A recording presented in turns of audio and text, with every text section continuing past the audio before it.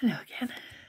It is Thursday, the 20th of June. Um, I've got no idea what time it is. I'm quite late, as usual. I'm feeling much more like myself, which is good. Still very um, worn out, basically, getting very tired very easily.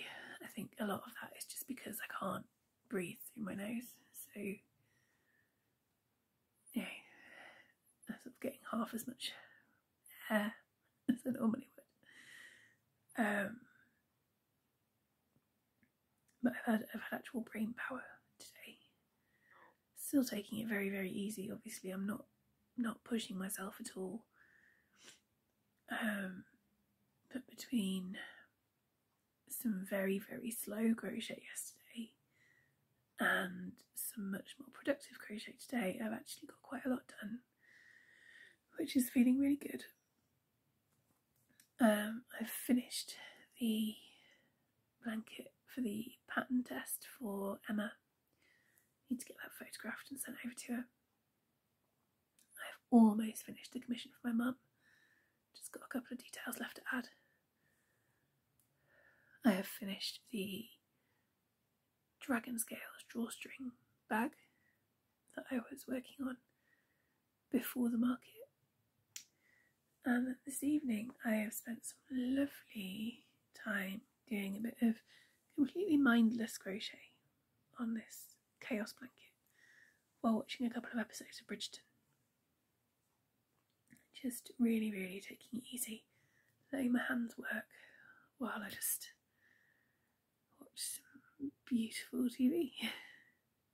um, so yeah, slow and steady. Still you know, a way to go recovery wise. I've been keeping on top of the painkillers today, set myself alarms and everything. I think that's helped a lot. I apologise, I must look an absolute fright, by the way, because I can't, um, see, I can't really wear any makeup or anything at the moment. I can't even moisturise my nose because it hurts too much. Um, yeah. So sorry for looking horrendous. um, what else was I going to say? That's probably it, to be honest. Yeah, slowly, steadily coming back to myself.